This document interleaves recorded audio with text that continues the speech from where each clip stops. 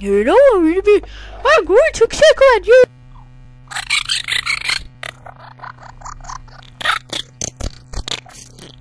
X, I can't believe you uh, take a mini pet, a baby mini Pencilmate.